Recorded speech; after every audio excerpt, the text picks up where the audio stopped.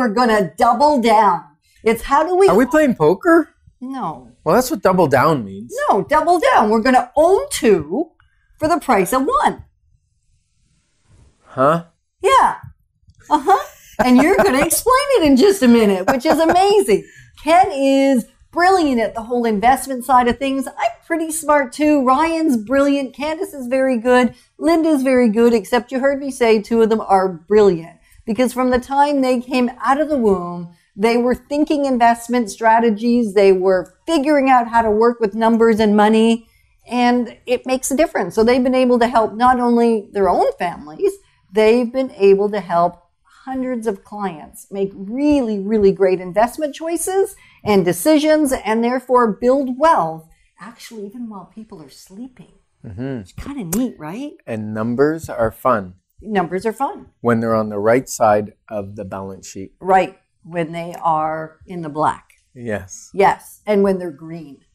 Yes. So, Come on, that was pretty good. Yes. And so this is the inside track on real estate with the Dekker team, and I'm Yetta Dekker. and I'm Ken Dekker. And today you're going to learn some strategies around how to make your money really work effectively for you in relation to owning a couple of properties, Right. right? hmm So, why would we want to own properties? Well, because they appreciate, they go up in value over time.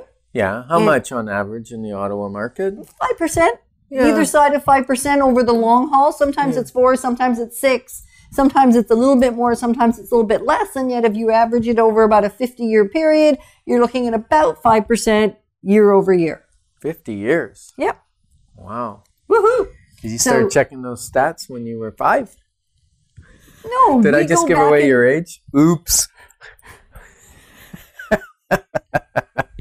Yes, right. you did. And yet, you know what? Ken's 55 as well. So you know what? There's no, there's no um, shame in being 55. What we've been working on lately is having nothing to protect, nothing to defend, and nothing to prove. That's right. So I have nothing to prove. And yes, I'm 55, just like you are. And I get to sleep with a grandmother.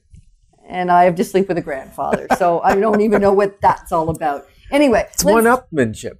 Oh my goodness. Okay. So it, yeah, we'll let him win because it makes him feel good. Absolutely. Absolutely. So can you win? You're the oldest. Perfect. So owning two for the price of one. Why double down? Well, because the average, if you want to be specific, is actually 4.8% year over year over an extended period of time. Mm-hmm. So 5% is a pretty good average. I'm more of a generalist. Ken's more of a specific detail kind of guy. So 4.8 if you want to have a little more accuracy. Yeah. So most people who buy a home and live in that home for for their lifetime, like we've we've sold some homes for people that are moving hmm. into another residence or moving on to another world, another dimension or whatever we want to call it. And typically there's you know four hundred thousand or so equity in one of those small bungalows that somebody might have bought, you know, forty years ago. Mm-hmm. And paid like twenty thousand dollars for it. So there's about three hundred and eighty thousand. It's gone up, Mm-hmm.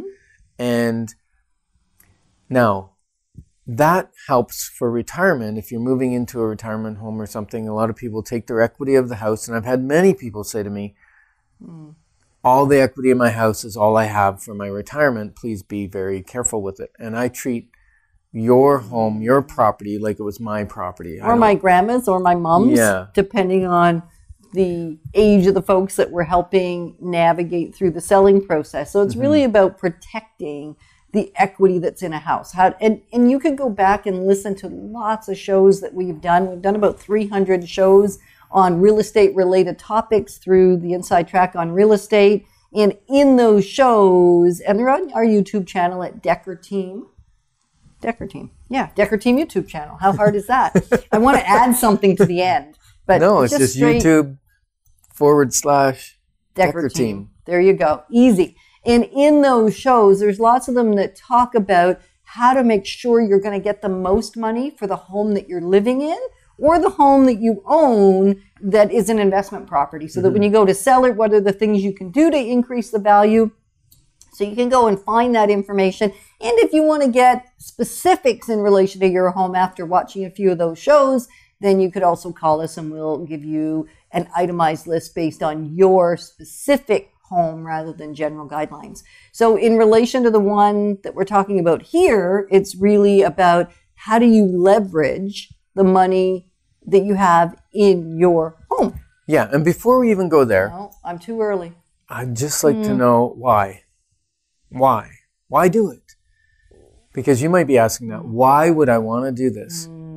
Okay, so Because it sounds risky. And that's the first thing people say to me. They're kind of afraid. are they? Uh, Well, I know lots of people are. Okay. That's at least one of the comments I get is that I'm afraid. I don't want to lose the money I already have. I don't want to Mm-hmm. take equity out of my house because it's a place I live. I need to keep being able to live there. And so I don't want to borrow Okay. against my Right. equity. Right. And I think it's like a shell game. So if I've got a certain amount of equity in this house and I move some of it over to another house, so now I've got two houses, same amount of equity, just broken into two houses.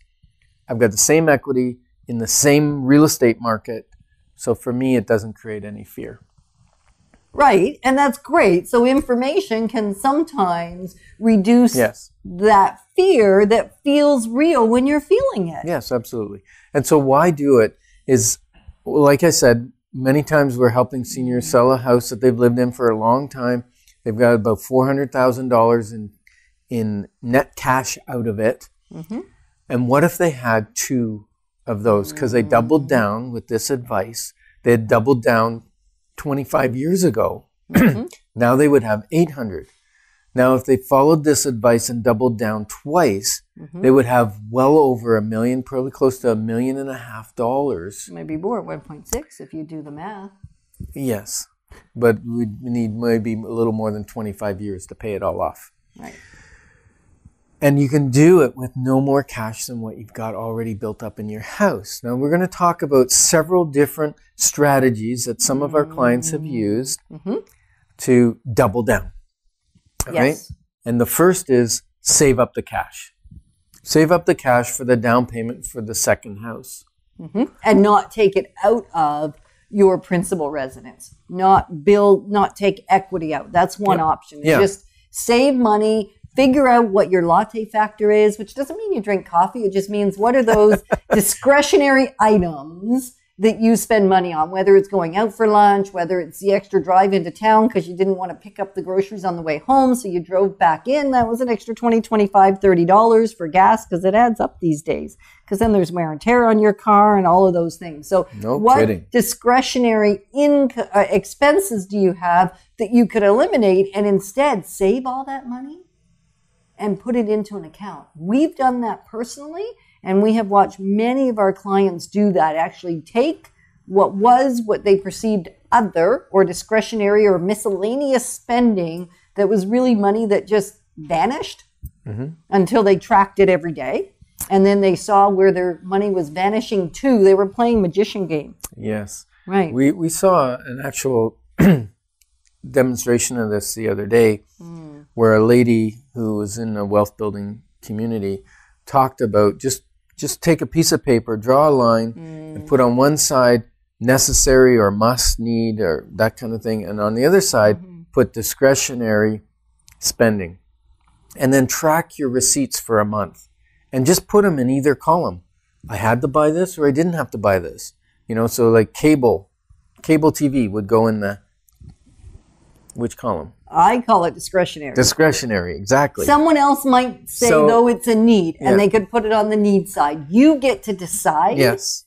and know that some things that you would call need are really Yeah. discretionary. And the more you can put on the discretionary side and free up for monthly Mm-hmm. payments towards your wealth building account. Mm. I don't call it a savings account. Uh-uh. The reason being is when I was brought up by my dad, he taught me to save money to spend money.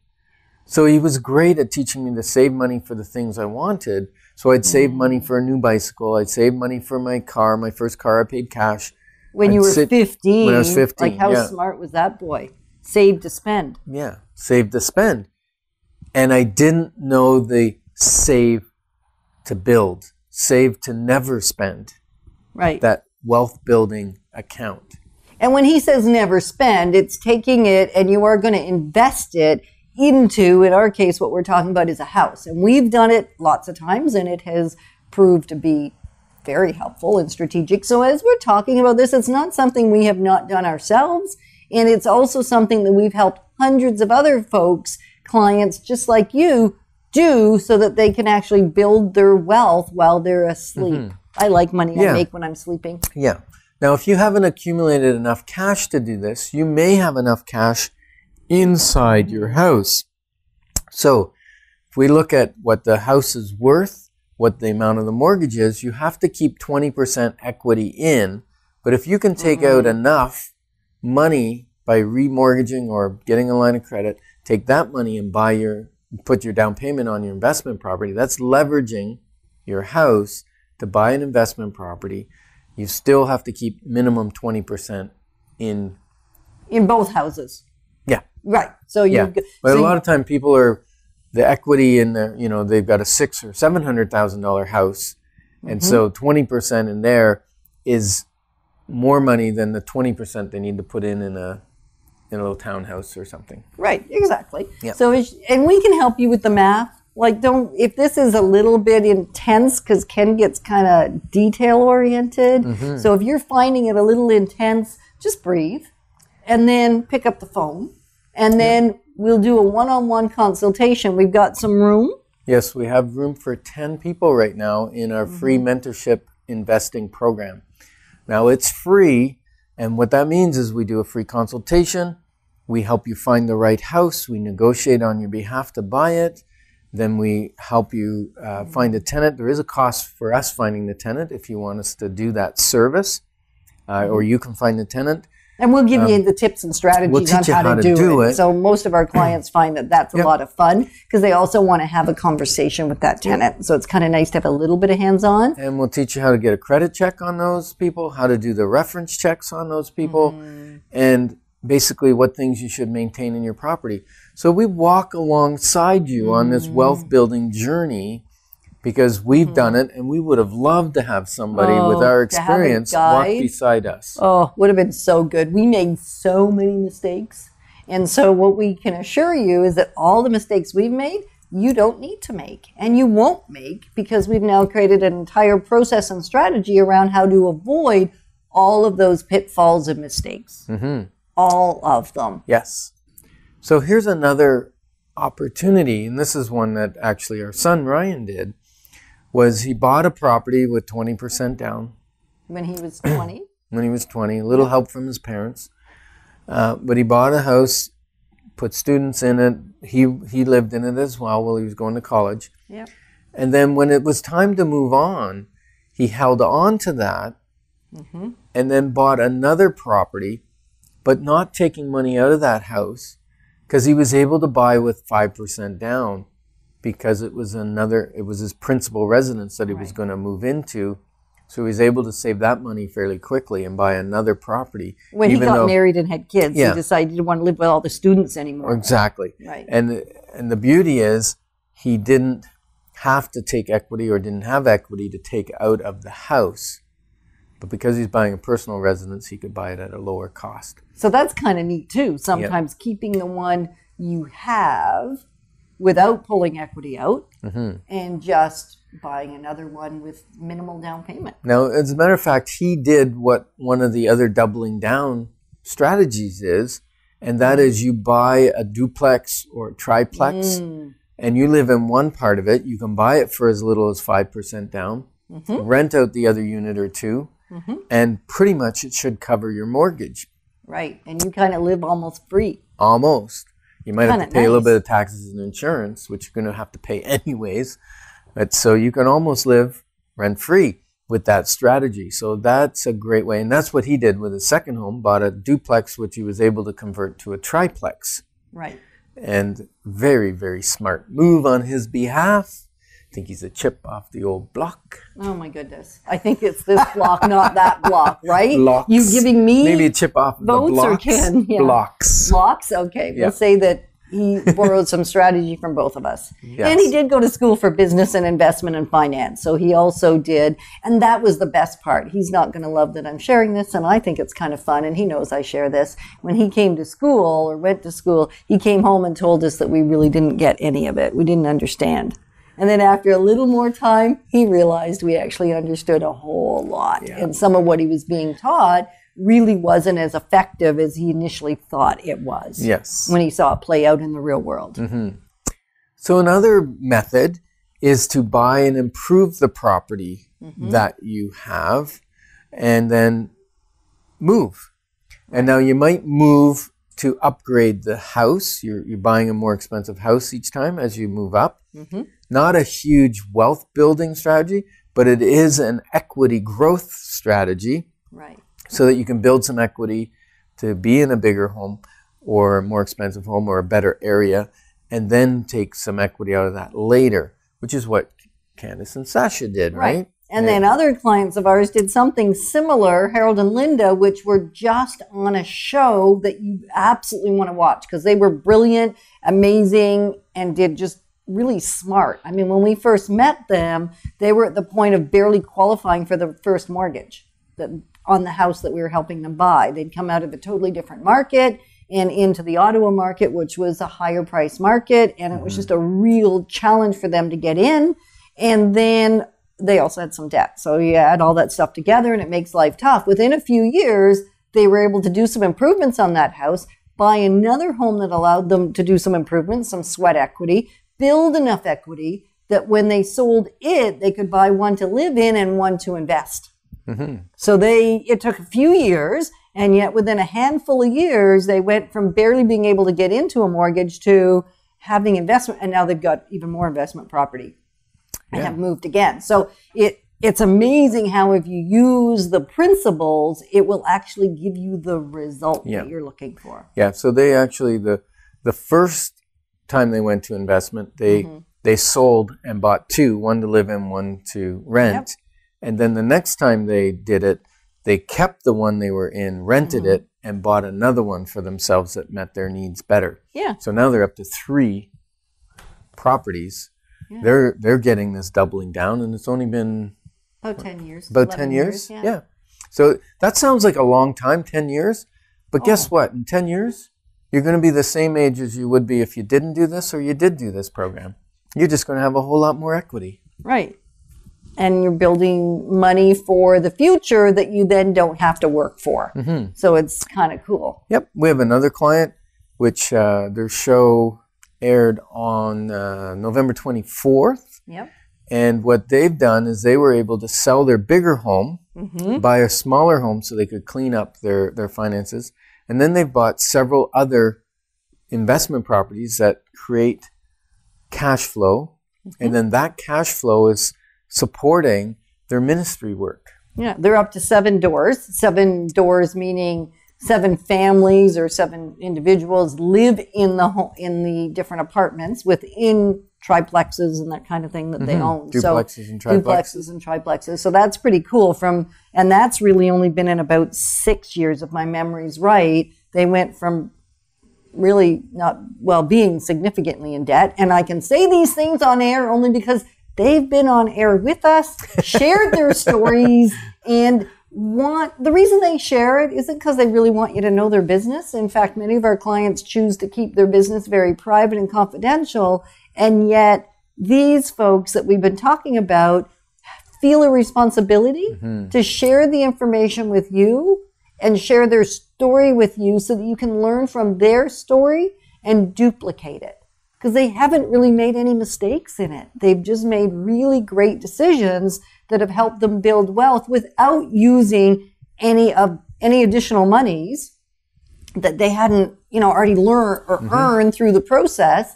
And then also with virtually no risk. It's strategic, it's intentional, it's deliberate, and it's reprodu- it's sustainable and it's duplicatable. Mm-hmm. And that's what they want you to know. So that's why we get to share their stories when Yeah. they're not here with us. Yeah. Another one of our clients, Kevin, he bought a property mm. and it was a little rough shape, small Yeah. property, and he significantly improved it with uh, some sweat equity and within six months was able to re-leverage, remortgage, Mm-hmm. get a chunk of money out and go buy an investment property. So that's another strategy.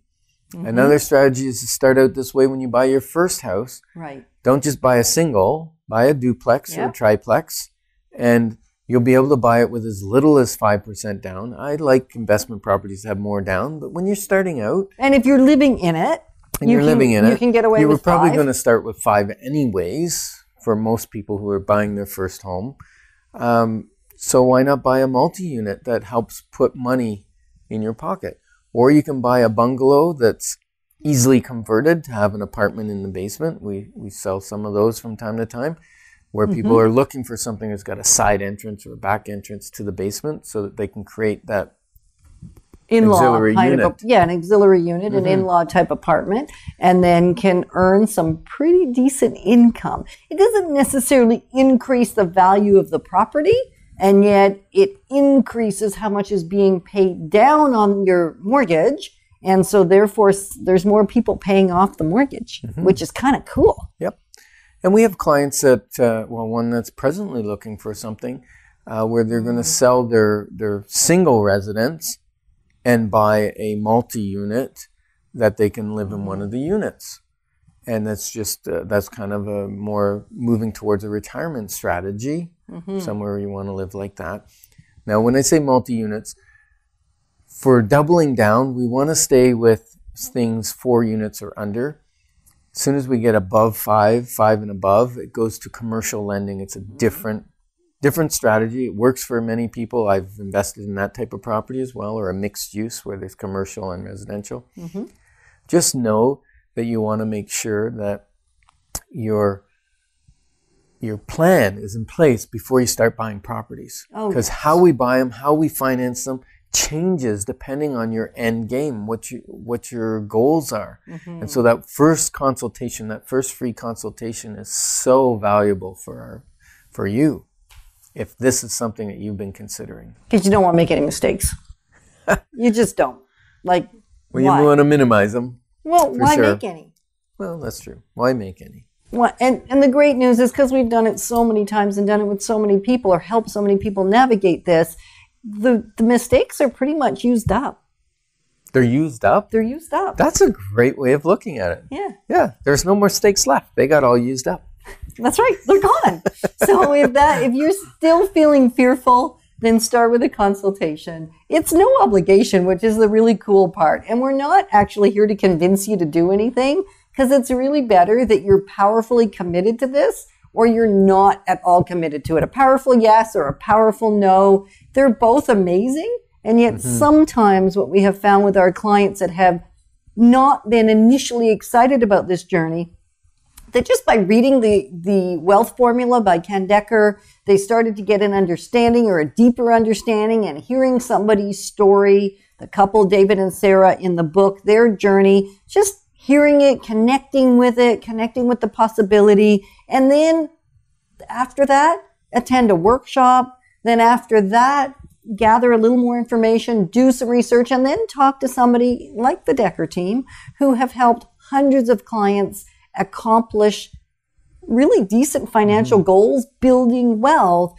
through a systematic approach that really is the mistakes have been used up mm-hmm. kind of gig.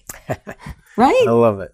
Yeah. Yeah. And if your New Year's resolution is to have mm. more wealth in the future or make different decisions with your mm. money in the future, if you're tired of paying month to month and worrying about what's, you know, mm. what your retirement or your future years are going to look like. Now, well, I don't plan on retiring, and the Bible doesn't talk about people retiring. Uh, and yet, it's it's a matter of fact. In our culture, people retire, mm-hmm. and also you may come to a point where health-wise, you can't work and you need support, and that costs money to have someone support mm. you in your life. And it's we're living longer and longer and longer, Which is so good which is awesome. because I enjoy your company. So let's hang out longer, Yeah. is what I'm thinking. and it costs more and more money.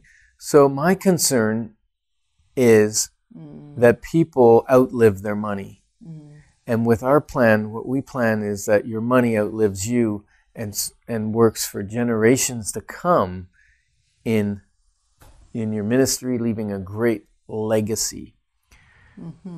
That's happy stuff. That's happy stuff. So And it just takes a little bit of strategy. Like it, it doesn't actually take more money. So we're not saying it's just how do you use the money? Right. How do you effectively yeah, you don't have to go out and get a part-time job on top of your full-time job to make some money. Most of the time it's just- not that complicated. We got to reassign it. yeah, it's actually we actually have an ebook. Forgot all about it. And here you go. Ottawa and area selling, buying, and investing made easy. And it really is easy if you just follow the basic core steps. And there are lots of programs out there that sound too good to be true. And guess what? They usually are. And they're really expensive. Yeah. I, I talked to so many people, both in the U.S. and in Canada, that have spent five and ten and twenty thousand dollars for these mm. Buy real estate, no money down programs, and how to buy real estate. And we mentor you. And first thing they do is they teach them how to raise the credit limit on their credit card so that they can pay the bill, and that messes up their credit rating so that they can't buy a property. So if you're like I said, if your New Year's resolution is that you want to do things differently and you'd like to learn about this doubling down, then we've got 10 spots available in January. And so email us, info at Dekker Team, or call us 613 860 4663, and we'll slot you in for a free consultation and see if our mentorship program is right for you for 2018 Right. because because we've built wealth and we want to share the wealth. Well, and we have been. So there's already a proven track record, and we want to make sure you get the benefit and the advantage of that. So enjoy New Year's, have fun time celebrating in a couple of days, enjoy New Year's Eve, and then January 1st, get on the phone. Not the first, we're off. I know. The second. But you know what I mean. You Get on the phone January 2nd. Have a great day.